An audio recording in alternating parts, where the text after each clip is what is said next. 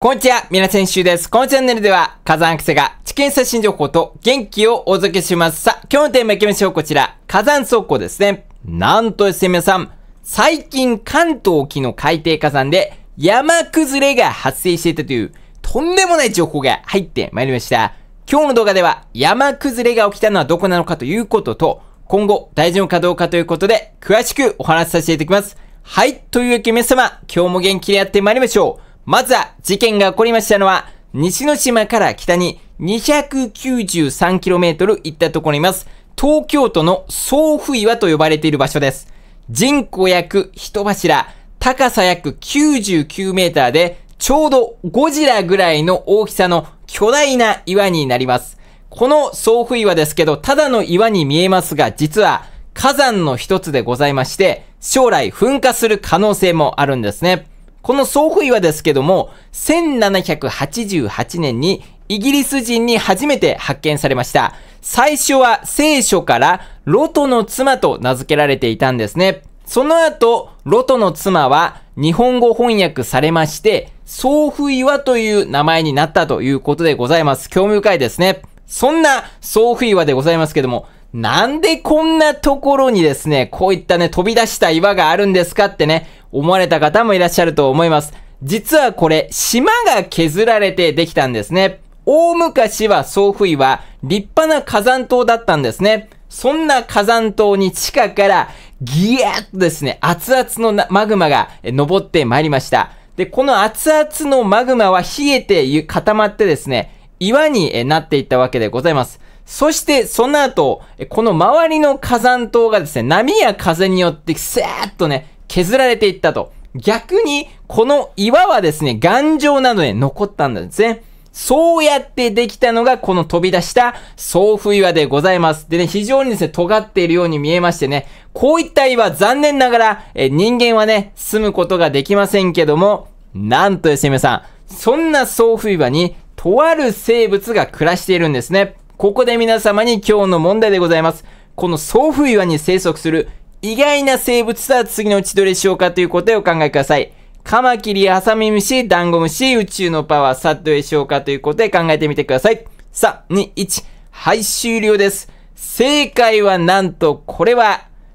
2番のハサミムシなんですね。実はですね、このソーフイは、ハサミムシとコオロギムシのですね、壮絶な縄張り争いが繰り広げられているということでね、バチバチにですね、このハサミムシ派とコオロギ派が戦っているということでね、面白いですね。はい。で、このそんな送風岩でございますけども、1975年に送風岩の周辺で海水の濁りですギヤッとね、確認されました。これは、えこの送風岩では火山ガスがブワッとね、出ているということを示しますんで、送風岩というのは活発な火山の一つなんですよということですね。将来も噴火する可能性があります。で、なんとですね、皆さん、そんな送風岩のこの度、近辺で山崩れが発生していたということが判明いたしました。山崩れが起こりましたのは、総府岩から東に約 15km 行ったところにあります。総府海山と呼ばれている海の火山ですね。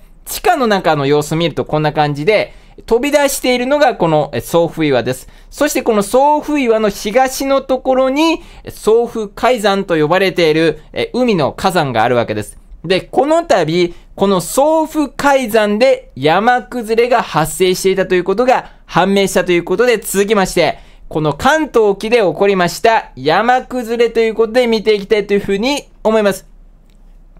ことの発端は2024年1月のことでありました。海上保安庁による送付岩周辺の調査が行われたんですね。結果、送付海山で山崩れが発生していたことが判明したということになりました。詳しく見てまいりましょう。もともとですね、総府海山2022年12月の姿がこちらです。富士山のようなね、形をしておったんですけども、ところがですね、この度、山崩れが発生してしまいまして、2024年1月にはですね、見てください皆さん。もうね、この総府岩の山がですね、真ん中がなくなりまして、代わりに 1.6km の大穴がですね、作られてしまったということなんですね。皆さん、すごいですね。実際の様子をご覧いただきたいと思います。こちらが山崩れ前の様子です。2022年12月です。ちょっとわかりにくくて申し訳ないんですが、この辺りね、火山が並んでいるというのがわかりますね。ところが2024年1月を見てみますと、火山の代わりにですね、大穴ができていたということでね、皆さんすごいですよね、これね。ちょっとこの大穴、え拡大してみていただきましょう。それがこちらです。火山の真ん中にポカンと直径 1.6km の大穴がこの度作られたということが判明しております。このような火山にできた大穴のことをカルデラというわけですね。で、このカルデラって何ですかってね、思われた方もいらっしゃると思うんですけど、実はこのカルデラというのは火山の活動でできた大穴のことを言うわけです。カルデラどうやってできるのかというと、大きく3つのパターンでできる可能性があります。まず1つ目が巨大噴火、2つ目が山崩れ、3つ目がマグマの移動です。1つ見ていきましょう。例えばまずは巨大噴火ですね。これは熊本県にある阿蘇山のカルデラです。阿蘇はですね、大きなカルデラがあって、中に火山があるというような山になっております。実際の地形見ていただくと、この赤線が阿蘇のカルデラで、中にたくさんの火山があるということなんですけども、どうして阿蘇にカルデラがあるのか、それは阿蘇山では過去に4度の巨大噴火ですギヤーッと発生しました。で、この巨大噴火がギヤーッと起こることによってですね、この巨大噴火によって、地面がですね、スーッと沈んでいったわけです。その結果できたのがこの大穴カルデラだよということですね。そしてカルデラのでき方その2、山崩れでございます。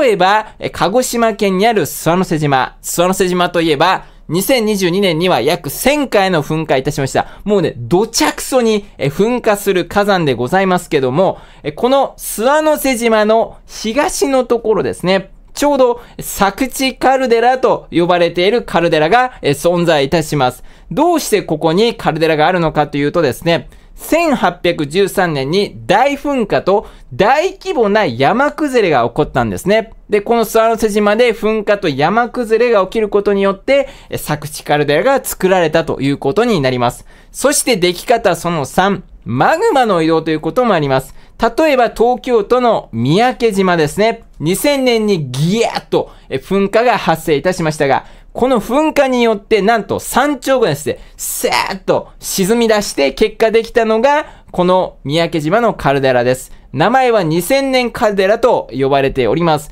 2000年カルデラはマグマの移動によってカルデラができたパターンになります。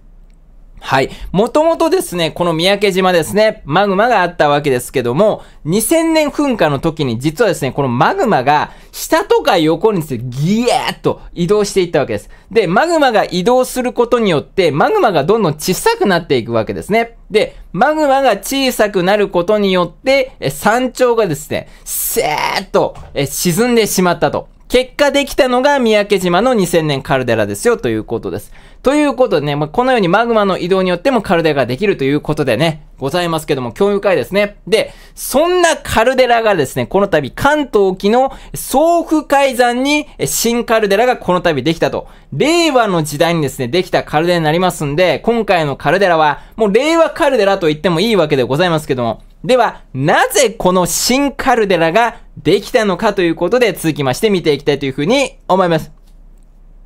はい。まずはですね、結論から言うと、え関東沖に新カルデラができた理由はつまり、噴火と山崩れが発生してためであります。では、詳しく見て参りましょう。まず、ことの発端なんですけども、2023年10月9日に遡ります。今からちょうど1年ほど前の話ですね。この時期に実はですね、この総府岩周辺で、ブワッとね、おびただしい激しい地震がギーっと起こっておりました。で、ただの激しい地震ではなくてですね、マグニチュード6の大地震がですね、どかどかどかどかね、もう4連発も起こっておりまして、まさにね、異常事態だったわけでございます。そして、それだけではありませんでした。10月9日にはですね、津波が発生いたしまして、地震からですね、347キロ離れた場所に津波がギヤッと行きまして、結果ですね、人口7000人の八丈島、60センチの津波が到達いたしまして、船がひっくり返るなどのですね、被害があったわけですね。